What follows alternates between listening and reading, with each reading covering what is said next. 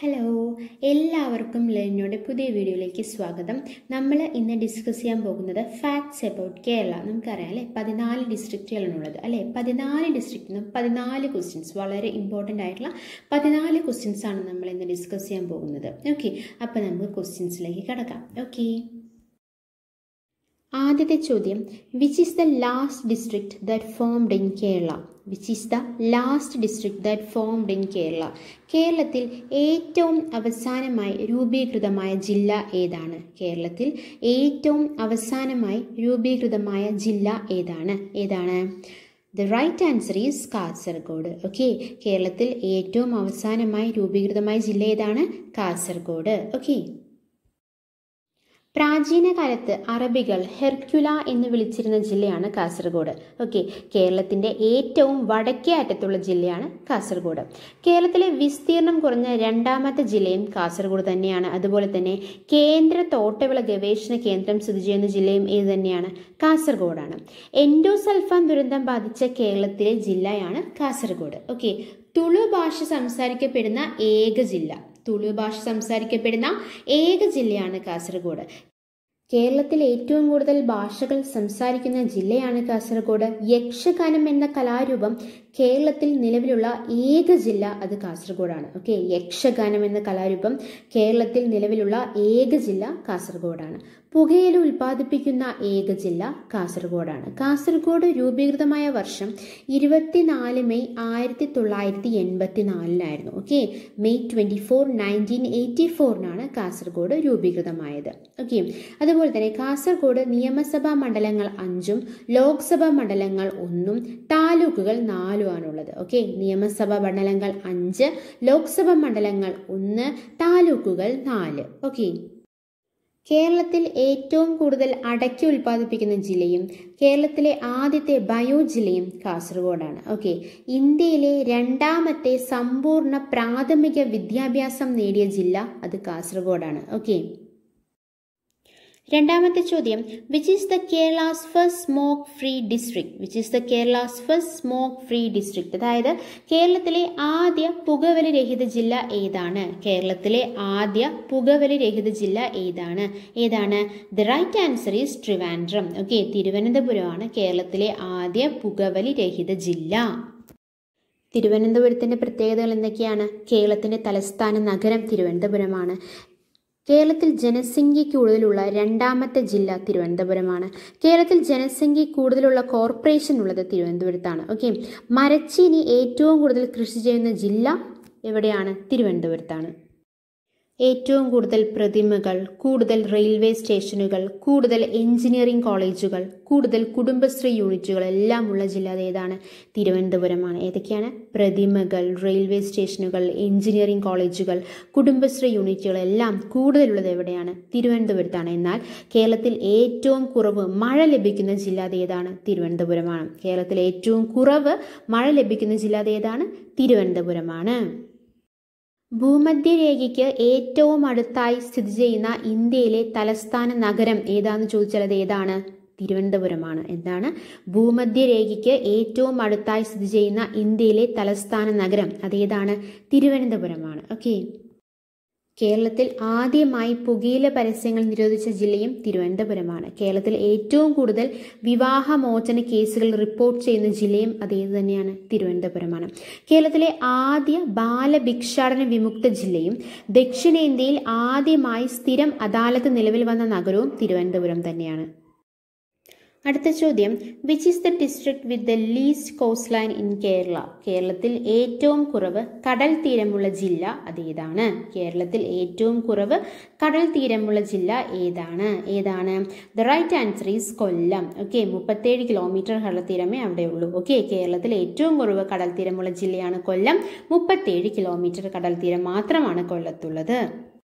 കൊല്ലം ജില്ലയുടെ പ്രത്യേകതകൾ നോക്കാം. പ്രാചീന കാലത്ത് ദേശിംഗനാട് തേൻവഞ്ചി ജയസിംഹനാട് എന്നീ പേരുകൾ അറിയപ്പെട്ടിരുന്ന പ്രദേശമാണ് കൊല്ലം.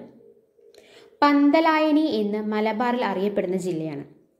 കുരക്കേനി എന്ന് തിരുവിതാംകൂറിൽ അറിയപ്പെട്ടിരുന്ന ജില്ലയാണ്. കേരള സംസ്ഥാനം നിലവിൽ വന്നപ്പോഴുണ്ടായ അഞ്ച് ജില്ലകളിൽ ഒന്നാണ് കൊല്ലം. ഓക്കെ ഇൽമനൈറ്റ് മോണോസൈറ്റ് എന്നീ ധാതുക്കളുടെ നിക്ഷേപം ധാരാളമായി കാണപ്പെടുന്ന ജില്ലയാണ് ഇത് കൊല്ലം. ഏതൊക്കെയാണ്? ഇൽമനൈറ്റും അതുപോലെ തന്നെ മോണോസൈറ്റും. ഓക്കെ അതുപോലെ തന്നെ കേരളത്തിൽ ഏറ്റവും കൂടുതൽ കശുവണ്ടി ഫാക്ടറികളുള്ള ജില്ലയും കൊല്ലം തന്നെയാണ്. കേരളത്തിലെ ഏറ്റവും കൂടുതൽ എള്ള് ഉൽപ്പാദിപ്പിക്കുന്ന ജില്ലയും കേരളത്തിലെ ഏറ്റവും കൂടുതൽ ചെമ്മീൻ ഉൽപ്പാദിപ്പിക്കുന്ന ജില്ലയും അത് കൊല്ലം തന്നെയാണ്. ഓക്കെ കേരളത്തിലെ ആദ്യത്തേതും ഏറ്റവും വലുതുമായ ജലസേചന പദ്ധതിയായ കല്ലട ജലസേചന പദ്ധതി സ്ഥിതി ചെയ്യുന്ന ജില്ല ഏതാണ്? കൊല്ലമാണ്. എന്താണ് പറഞ്ഞത്? കേരളത്തിലെ ആദ്യത്തേതും ഏറ്റവും വലുതുമായ ജലസേചന പദ്ധതിയായ കല്ലട ജലസേചന പദ്ധതി സ്ഥിതി ചെയ്യുന്ന ജില്ല ഏതാണ്? കൊല്ലമാണ്. കേരളത്തിലെ ഏറ്റവും വലിയ ശുദ്ധജല തടാകം നമുക്കറിയാം. അത് ശാസ്താംകോട്ട കായലാണ് അല്ലേ? കേരളത്തിലെ ഏറ്റവും വലിയ ശുദ്ധജല തടാകമായ ശാസ്താംകോട്ട കായൽ സ്ഥിതി ചെയ്യുന്ന ജില്ല അതെവിടെയാണ്? കൊല്ലമാണ്. ഓക്കെ നാലാമത്തെ ചോദ്യം. According to who report which is the district has the most clean air അല്ലെ? W H O report according to W H O report which is the district has the most clean air എന്താണ് ഈ ക്വസ്റ്റിന്റെ അർത്ഥം? W H ഒയുടെ report പ്രകാരം ഏറ്റവും കൂടുതൽ ശുദ്ധവായു ലഭ്യമാകുന്ന ജില്ല ഏതാണ്? ഡബ്ല്യു എച്ച് ഒയുടെ റിപ്പോർട്ട് പ്രകാരം ഏറ്റവും കൂടുതൽ ശുദ്ധവായു ലഭ്യമാകുന്ന ജില്ല ഏതാണ്? ഏതാണ്? പത്തനംതിട്ടയാണ്. ഓക്കെ ഡബ്ല്യു എച്ച് റിപ്പോർട്ട് പ്രകാരം ഏറ്റവും കൂടുതൽ ശുദ്ധവായു ലഭ്യമാകുന്ന ജില്ല അത് പത്തനംതിട്ടയാണ്. ഓക്കെ കേരളത്തിൽ പതിമൂന്നാമതായി നിലവിൽ വന്ന ജില്ലയാണ് പത്തനംതിട്ട. രൂപീകൃതമായ വർഷം first November nineteen eighty two okay November ഒന്ന് ആയിരത്തി തൊള്ളായിരത്തി എൺപത്തി രണ്ടിനാണ് പത്തനംതിട്ട രൂപം കൊണ്ടത്. കേരളത്തിൽ പതിമൂന്നാമത് നിലവിൽ വന്ന ജില്ലയാണ് പത്തനംതിട്ട. കേരളത്തിൽ കടൽ തീരമില്ലാത്ത ജില്ലകളിൽ ഒന്നാണ് പത്തനംതിട്ട. ഓക്കെ ഇന്ത്യയിലെ ആദ്യത്തെ പോളിയോ വിമുക്ത ജില്ലയും കേരളത്തിൽ ശിശുക്കളുടെ സ്ത്രീ പുരുഷാനുപാതം ഏറ്റവും കൂടിയ ജില്ലയും അതേത് തന്നെയാണ്? പത്തനംതിട്ട തന്നെയാണ്. ഇന്ത്യയിൽ ആദ്യമായി പൂജ്യം ജനസംഖ്യ വളർച്ചാ നിരക്ക് രേഖപ്പെടുത്തിയ ജില്ല ഏതാണ്? പത്തനംതിട്ടയാണ്. ഇന്ത്യയിൽ ആദ്യമായി പൂജ്യം ജനസംഖ്യ വളർച്ചാ നിരക്ക് രേഖപ്പെടുത്തിയ ജില്ല അത് പത്തനംതിട്ടയാണ്. കേരളത്തിൽ ആദ്യമായി എയ്ഡ്സ് രോഗം റിപ്പോർട്ട് ചെയ്യപ്പെട്ട ജില്ലയും ഏത് തന്നെയാണ് പത്തനംതിട്ട തന്നെയാണ്. ഓക്കെ? കേരളത്തിൽ ആദ്യ കറൻസി രഹിത കളക്ടറേറ്റ് ഉള്ള ജില്ല കേരളത്തിൽ ഏറ്റവും കുറവ് റെയിൽവേ പാതകളുള്ള ജില്ല ഇന്ത്യയിൽ അന്തരീക്ഷ മലിനീകരണം കുറവുള്ള രണ്ടാമത്തെ ടൗൺ ഉള്ള ജില്ല കേരളത്തിലെ ഏറ്റവും വലിയ ഫോറസ്റ്റ് ഡിവിഷനായ റാനി സ്ഥിതി ചെയ്യുന്ന ജില്ല എല്ലാം ഏത് തന്നെയാണ്? പത്തനംതിട്ടയാണ്. ഓക്കെ പ്രസിദ്ധമായ ആറന്മുള ഉത്രട്ടാതി വള്ളംകളി നടക്കുന്ന ജില്ല എവിടെയാണ്? പത്തനംതിട്ടയിലാണ്. ഓക്കെ പ്രസിദ്ധമായ ആറന്മുള ഉത്രട്ടാതി വള്ളംകളി നടക്കുന്നത് എവിടെയാണ്? പത്തനംതിട്ടയിലാണ്. ഓക്കെ അഞ്ചാമത്തെ ചോദ്യം. Which is the headquarters of Kerala water transport എന്താണ് ഈ ചോദ്യത്തിന്റെ അർത്ഥം? കേരള ജലഗതാഗതത്തിന്റെ ആസ്ഥാനം എവിടെയാണ്? കേരള ജലഗതാഗതത്തിന്റെ ആസ്ഥാനം എവിടെയാണ്? എവിടെയാണ്?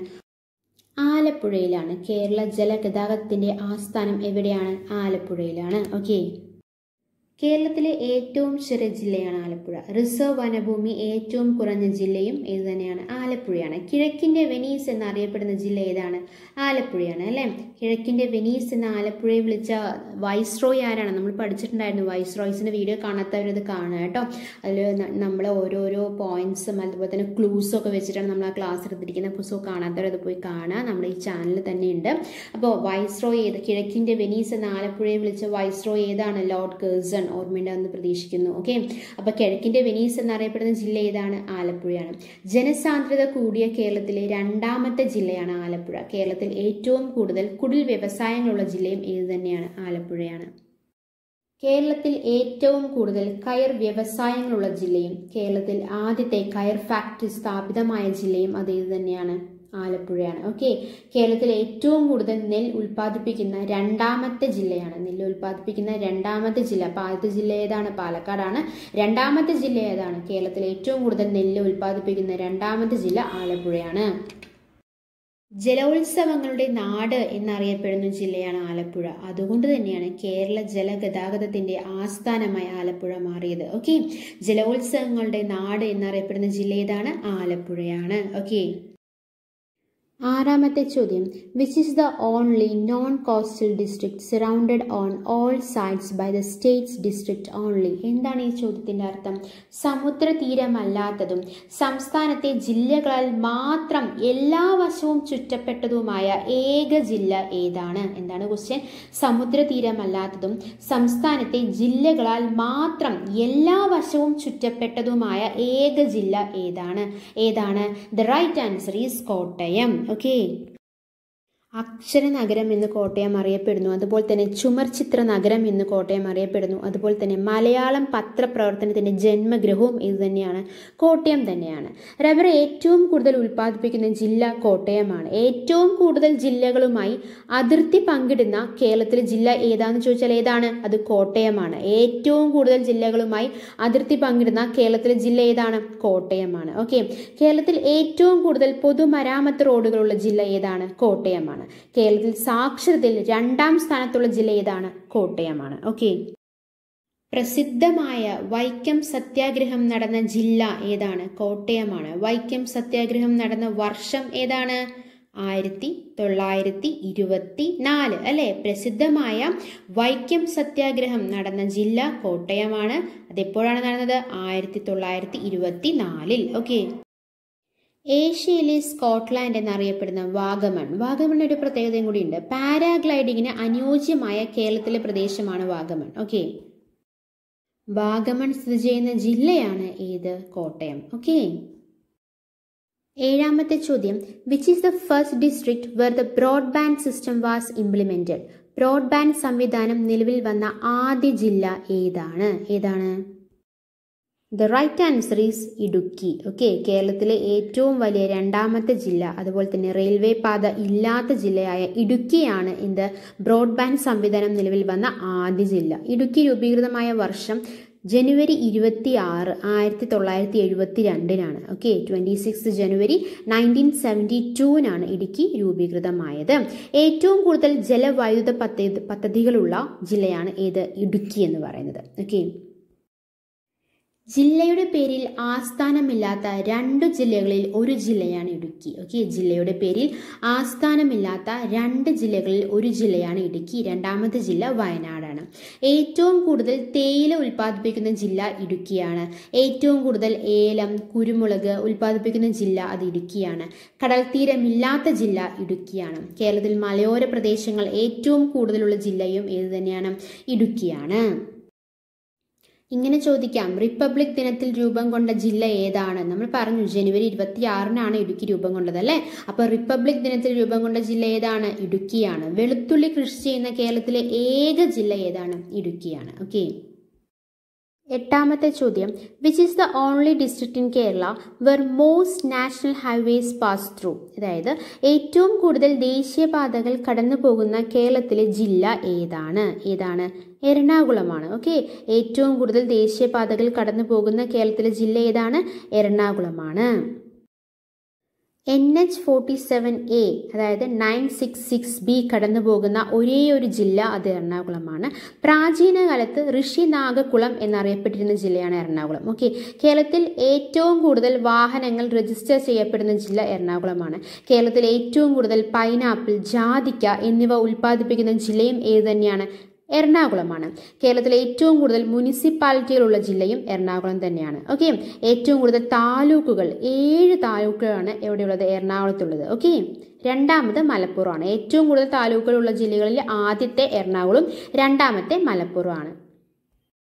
സ്പീഡ് പോസ്റ്റ് സംവിധാനം നിലവിൽ വന്ന കേരളത്തിലെ ആദ്യത്തെ ജില്ല എറണാകുളമാണ്. കേരളത്തിലെ ആദ്യത്തെ ഇ ഡിസ്ട്രിക്റ്റ് ഓക്കെ കേരളത്തിലെ ഇ ഡിസ്ട്രിക്റ്റ് ഏതാ ചോദിച്ചു കഴിഞ്ഞാൽ ഏതാണ്? എറണാകുളമാണ്. കേരളത്തിൽ ആദ്യമായി എ ടി എം കൗണ്ടർ വഴി പാൽ നൽകുന്ന സംവിധാനം നിലവിൽ വന്ന ജില്ലയാണ് എറണാകുളം. അത് കൊണ്ടുവന്നത് മിൽമയാണ് കേട്ടോ. കേരളത്തിൽ ഏറ്റവും കൂടുതൽ വ്യവസായവൽക്കരിക്കപ്പെട്ട ജില്ല ഏതാണ്? എറണാകുളമാണ്. ഓക്കെ ഒമ്പതാമത്തെ ചോദ്യം. Which is the district where Kerala health university came in to existence Kerala ആരോഗ്യ സർവകലാശാല സ്ഥാപിതമായ ജില്ല ഏതാണ്? കേരള ആരോഗ്യ സർവകലാശാല സ്ഥാപിതമായ ജില്ല ഏതാണ്? ഏതാണ്? തൃശ്ശൂരാണ് അല്ലേ? കേരള ആരോഗ്യ സർവകലാശാല സ്ഥാപിതമായ ജില്ല ഏതാണ്? തൃശ്ശൂരാണ്. തൃശ്ശൂർ എന്നാണ് രൂപം കൊണ്ടത്? First July nineteen forty nine okay first July nineteen forty nine July ഒന്ന് ആയിരത്തി തൊള്ളായിരത്തി നാൽപ്പത്തി ഒൻപതിനാണ് തൃശ്ശൂർ രൂപം കൊണ്ടത്. ഓക്കെ ശക്തൻ തമ്പുരാൻ സ്ഥാപിച്ച നഗരമാണ് തൃശ്ശൂർ. ഓക്കെ തൃശിവപെരൂർ എന്നറിയപ്പെട്ടിരുന്നു. വൃഷദാദ്രിപുരം തെൻ കൈലാസം എന്നീ പേരുകളിൽ പ്രാചീന കാലത്ത് അറിയപ്പെട്ടിരുന്നു. തൃശ്ശൂർ ഓക്കെ കേരളത്തിന്റെ സാംസ്കാരിക തലസ്ഥാനം എന്നറിയപ്പെടുന്ന ജില്ലയും ഏറ്റവും കൂടുതൽ ബ്ലോക്ക് പഞ്ചായത്തുകളുള്ള ജില്ലയും തൃശ്ശൂരാണ്. ഏറ്റവും കൂടുതൽ പോസ്റ്റ് ഓഫീസുകളുള്ള ജില്ലയും ഏത് തന്നെയാണ്? തൃശ്ശൂരാണ്. ഏറ്റവും അധികം പ്രദേശത്ത് ജലസേചന സൗകര്യമുള്ള ജില്ല ഏതാണ്? തൃശ്ശൂരാണ്. ഓക്കെ കേരളത്തിൽ കെ എസ് ഇ ബി നേരിട്ട് വൈദ്യുതി വിതരണം ചെയ്യാത്ത ഏക കോർപ്പറേഷനുള്ള ജില്ലയും ഏത് തന്നെയാണ്? തൃശ്ശൂരാണ്. ഓക്കെ അടുത്ത ചോദ്യം. The first fully electrified district in Kerala അതായത് കേരളത്തിലെ ആദ്യ സമ്പൂർണ വൈദ്യുതവൽകൃത ജില്ല ഏതാണ്? ഏതാണ്? പാലക്കാടാണ്. ഓക്കെ കേരളത്തിലെ ആദ്യ സമ്പൂർണ വൈദ്യുതവൽകൃത ജില്ല ഏതാണ്? പാലക്കാടാണ്. കേരളത്തിൽ ഏറ്റവും കൂടുതൽ നെല്ല് ഉൽപ്പാദിപ്പിക്കുന്ന ജില്ല പാലക്കാടാണ്. ഓക്കെ. കേരളത്തിലെ ആദ്യ സമ്പൂർണ ബാങ്കിങ് ജില്ലയും കേരളത്തിലെ ആദ്യത്തെ വിവര സാങ്കേതിക വിദ്യാ ജില്ലയും ഇത് തന്നെയാണ് പാലക്കാടാണ്. ഓക്കെ. കേരളത്തിൽ ഏറ്റവും കൂടുതൽ ചൂട് കൂടിയ ജില്ലയും ഏതാണ്? പാലക്കാടാണ്. കേരളത്തിൽ ഏറ്റവും കൂടുതൽ വനിതാ തൊഴിലാളികൾ കർഷക തൊഴിലാളികൾ ഉള്ള ജില്ലയും പാലക്കാടാണ്. കേരളത്തിൽ ഏറ്റവും കൂടുതൽ കരിമ്പ് കൃഷി ചെയ്യുന്ന ജില്ലയും പാലക്കാടാണ്. കാളപ്പൂട്ട് ഉത്സവം ആഘോഷിക്കുന്ന ജില്ലയാണ് പാലക്കാട്. ഓക്കെ കേരളത്തിൽ കാർഷിക ആവശ്യത്തിനായി ഏറ്റവും കൂടുതൽ ഭൂമി ഉപയോഗിക്കുന്ന ജില്ല ഏതാണ്? പാലക്കാടാണ്. കേരളത്തിലെ ലോക്സഭാ സംവരണ മണ്ഡലങ്ങളിൽ ഒന്നായ ആലത്തൂർ സ്ഥിതി ചെയ്യുന്ന ജില്ല ഏതാണ്? പാലക്കാടാണ്. കേരളത്തിലെ ലോക്സഭാ സംവരണ മണ്ഡലങ്ങളിൽ ഒന്നായ ആലത്തൂർ സ്ഥിതി ചെയ്യുന്ന ജില്ല എവിടെയാണ്? പാലക്കാടാണ്. ഓക്കെ? കേരളത്തിൽ സമുദ്രതീരമില്ലാത്ത ജില്ലകളിൽ ഒന്നാണ് ഏത്? പാലക്കാട്. കേരളത്തിൽ കിഴക്കോട്ട് ഒഴുകുന്ന നദികളിൽ ഒന്നായ ഭവാനി ഒഴുകുന്ന ജില്ല ഏതാണ്? പാലക്കാടാണ്. ഓക്കെ? കേരളത്തിൽ ഏറ്റവും കൂടുതൽ സൈബർ കേസുകൾ റിപ്പോർട്ട് ചെയ്യപ്പെടുന്ന ജില്ലയും ഇത് തന്നെയാണ്. പാലക്കാടാണ്. ഓക്കെ? ഏറ്റവും കൂടുതൽ വ്യവസായവൽക്കരിക്കപ്പെട്ട രണ്ടാമത്തെ നഗരമാണ് പാലക്കാട്. ആദ്യത്തെ നഗരം നമ്മൾ പറഞ്ഞല്ലേ എറണാകുളമാണ്. ഏറ്റവും കൂടുതൽ വ്യവസായവൽക്കരിക്കപ്പെട്ട രണ്ടാമത്തെ നഗരം പാലക്കാടാണ്. ആദ്യത്തെ നഗരം ഏതാണ്? എറണാകുളമാണ്. ഓക്കെ പതിനൊന്നാമത്തെ ചോദ്യം. Which is the India's first fully computer literate district അതായത് ഇന്ത്യയിലെ ആദ്യ സമ്പൂർണ കമ്പ്യൂട്ടർ സാക്ഷരതാ ജില്ല ഏതാണ്? ഏതാണ്? മലപ്പുറമാണ്. ഓക്കെ ഇന്ത്യയിലെ ആദ്യ സമ്പൂർണ കമ്പ്യൂട്ടർ സാക്ഷരതാ ജില്ലയാണ് ഏത്? മലപ്പുറം. കേരളത്തിൽ ഏറ്റവും കൂടുതൽ സർക്കാർ സ്കൂളുകളുള്ള ജില്ല ഏതാണ്? മലപ്പുറമാണ്. ഓക്കെ. വലിപ്പത്തിൽ കേരളത്തിൽ മൂന്നാം സ്ഥാനത്തുള്ള ജില്ലയാണ് മലപ്പുറം. കുതിരക്കളി എന്ന അനുഷ്ഠാന നൃത്തരൂപം പ്രചാരത്തിലുള്ള ജില്ലയാണ് മലപ്പുറം. കുടുംബശ്രീ ആദ്യമായി ഉദ്ഘാടനം ചെയ്ത ജില്ല ഏതാണ്? മലപ്പുറമാണ്. എന്നാണ് ഉദ്ഘാടനം ചെയ്തത്? ആയിരത്തി തൊള്ളായിരത്തി തൊണ്ണൂറ്റി എട്ടിൽ ഓക്കെ. കുടുംബശ്രീ ആദ്യമായി ഉദ്ഘാടനം ചെയ്ത ജില്ല ഏതാണ്? മലപ്പുറമാണ്. പന്ത്രണ്ടാമത്തെ ചോദ്യം. Which is the highest rainfall district in Kerala കേരളത്തിൽ ഏറ്റവും കൂടുതൽ മഴ ലഭിക്കുന്ന ജില്ല ഏതാണ്? ഏതാണ്?